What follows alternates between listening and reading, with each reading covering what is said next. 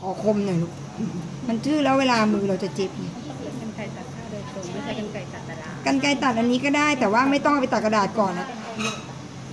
เอาแบบนี้ก็ได้แต่ว่าอย่าไปตัดกระดาษ เออเอามักันนไกรเคยแบบซื้อเป็นี้นไกลเหล็กที่มันหนักๆอะไม่เอาป็นฟฟ้สถิตเจ็บคือถ้าผ้าก็ตัดแต่ผ้ากระดาษก็ตัดแต่กระดาษมันจะมันจะไม่หนักเนี่ยลูกพอลูกตัดชิดเสร็จแล้วใช่ปะ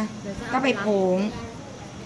เนี่ยพอเราเสร็จตรงเนี้ยนะลูกเราก็เอาไปโพงนะคะพอโพงลูกสังเกตนะตัดก ระดาษรวบโปงเป็นอันอ่ารวบโพงเป็นอันเดียวกัน เนี่ยมันจะตั้ง เนี่ยตรงเนี้ยมันจะตั้ง แต่อันนี้ยังไม่สิ้นสุดเท่านี้ เนี่ยมันจะตั้งอย่างนี้ เนี่ยนะเดี๋ยวจะให้พี่ก็ลองสักให้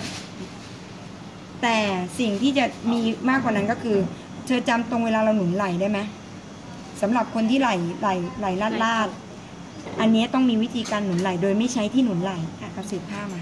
นี่ไม่ใช่เศษผ้าเอาเศษผ้ามาจะสอน อันนี้ยังไม่เสร็จยังไม่จบนะคะอั นนี้ยังไม่จบยังมีอีก ยังไม่จบเทคนิคการทำแขนคนไหลตกเราไหลเศษผ้ามาไหลตกไม่ตกก็ต้องทำเพราะนี่เป็นตัวดันให้ให้แขนมันสุดนิดเดียวค่ะนิดเดียวนิดเดียวให้ครูตัดตัดเลยเนี่ยตรงนี้ในนี้มีไม่ต้องไม่ต้องกลัวแค่นี้ลูกเขาเอาเข้ามาเอาแค่เฉียงนี่ค่ะ แค่นี้เองค่ะ ตัดเป็นผ้าเฉลียงแบบนี้ลูก ให้ตรงนี้ประมาณประมาณ 12เซนเนี่ยช่วงเนี้ยเป็นสันทบแบบนี้นะลูกนะ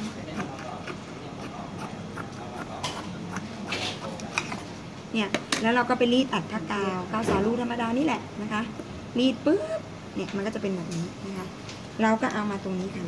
เอามาตรงนี้ ต้องเป็นกาวสาลูเหรอคะได้อะไรก็ได้ค่ะลูกขอให้มันแข็งกว่านี้หน่อยหนึ่งเนี่ยแล้วเราก็เอาเนี่ยค่ะ วางให้เหลื่อมขึ้นมาเนี่ยค่ะ ครึ่งเซนเนี่ยพับกึ่งกลางนะพับกึ่งกลางจากตะเข็บไหล่ใช่พับ อันนี้นะให้กึ่งกลางนะแล้วก็เอาเนี้ยวาง โดยให้ตรงเนี้ยลูกให้ตรงเนี้ยเกินมาแค่ครึ่งเซนเนี่ยให้ชิ้นเนี้ยนะชิ้นเนี้ยนะชิ้นดามเนี่ยเกินมาครึ่งเซนแล้วเราก็เย็บนี่เป็นเทคนิคเลยนะลูกแขนเสื้อลูกจะสวยมาก แขนธรรมดานี่เลยนะเย็บเส้นไหนคะครูเย็บเส้นเส้นที่เมื่อกี้เรากินเออยาวเย็บเดินมาอีกหนึ่งห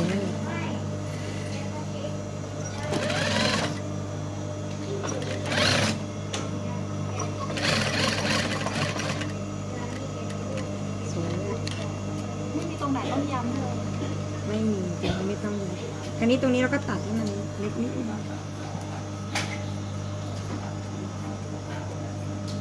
อืมพอเสร็จนะคะลูก นี่ ตัวนี้มันจะเป็นตัวช่วยดันแขนลูกนะนี่ดันขึ้นมาเห็นปะแขนลูกก็จะกลมมุมอย่างนี้ติดตลอด ไม่กระดุกกระดิกไปไหน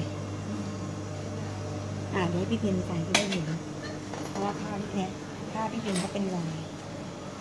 นางแบบใส่จะเห็นไหมถ้าเมื่อกี้เธอไม่เห็นนะเห็นไหมคะ มันจะมุนเห็นไหมนะคะถ่ายไว้เลยนไหมแขนจะโค้งนะให้มันมนอย่างนี้สวยงามนะจ๊ะแล้วเราเวลานั้นเราก็ไปรีดสักหน่อย นะ โอเคนะทำทุกขั้นตอนที่ครูสอน